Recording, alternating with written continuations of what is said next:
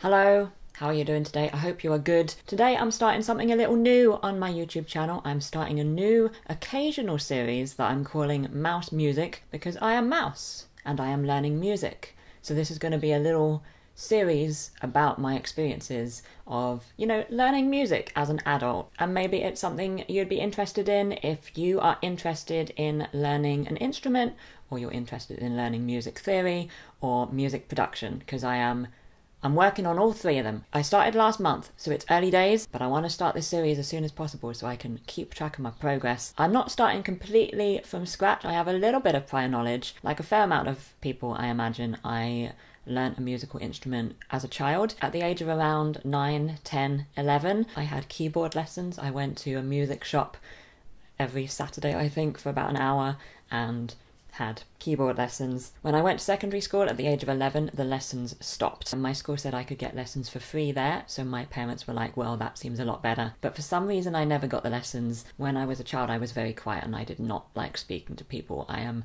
not called Mouse for nothing. Still not a big fan of it nowadays.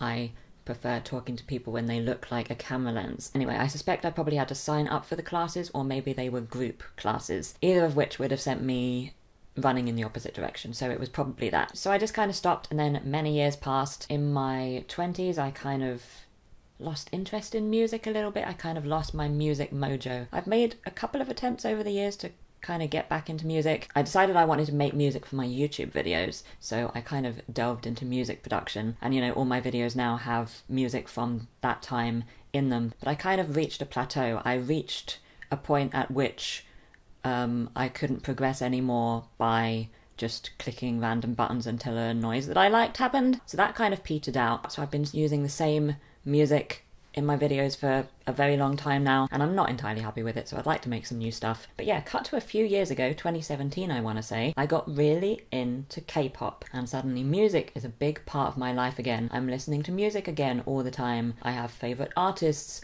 I buy albums, I know when new things are being released, and my music mojo gradually returns. So thank you to K-pop for bringing music back into my life in a big way. Because now I'm not just listening to K-pop as well, lots of genres, and you know, rediscovering a love of groups that I used to like when I was younger. So now is the time. I have picked up the keyboard again, and I'm gonna learn and improve. Here is the keyboard in question, the one that I was learning on when I was 10 and the one that I am learning on now. It is a Yamaha PSR3 if you are interested. It does have a stand but I can't find it. It's quite a large thing to have managed to lose. I would like to get like a full size keyboard at some point but at the moment we're working with what we have and then I'm learning music theory at the same time. I have a Skillshare membership which is kind of a site that has lots of courses in different things. I've been using it for videos and stuff. But now I'm going to use it for music, so I've been doing some music theory courses, and I never really knew anything about music theory when I was learning the keyboard originally.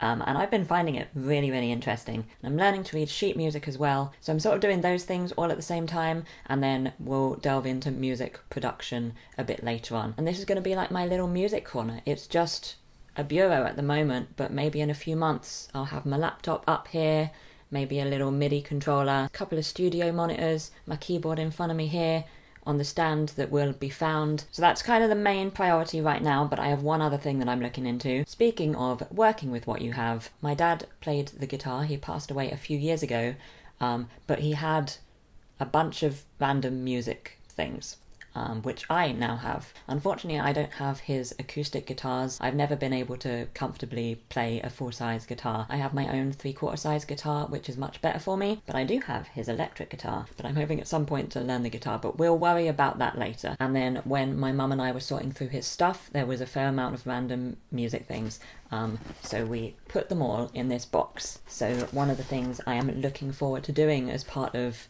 mouse music is figuring out how to use all this stuff. So we've got a bunch of cables, we've got a tuner, we've got a distortion pedal, there's a microphone, pretty sure I know what those do. There's this thing which doesn't currently have any batteries in it, but I really want to get this to work. There are these things, I don't entirely know what these are, so if anybody knows, please feel free to let me know. And then there's this drum machine, which I would love to make use of. So that's pretty much it really. Now you kind of know what I'm hoping to do with this series. Let me know if there's anything in particular you'd like me to make videos about as part of this. Let me know if you have any experiences of, you know, learning music stuff, any tips for me as I delve into the world. I'm really enjoying it so far. It's very early days, but I am uh, pleased with uh, the progression I have made. And yeah, we'll see how it goes, I guess. I don't know how often I'm going to make these videos. It's not going to be super regular, you know, like weekly or something. It'll probably be every once in a while when, you know, either something exciting happens or I make a breakthrough. I'm excited, it's going to be fun, and I'm looking forward to taking you along with me. And if, you know, you were like me interested in music when you were younger, but life happened,